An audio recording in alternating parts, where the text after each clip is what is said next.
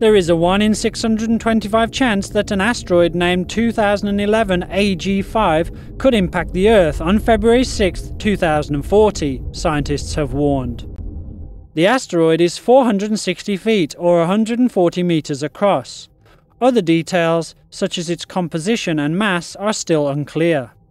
Scientists have only observed the asteroid for one half of its orbit. In 2029, it must pass through a 62 mile keyhole in order to maintain a collision course.